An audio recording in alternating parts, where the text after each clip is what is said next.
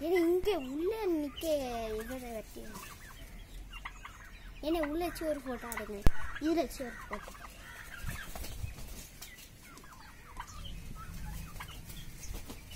ஏன்னா இங்கடி வாங்க இங்கடி வாங்க. இங்கடி வாங்க நீ. தாங்க நாங்கள்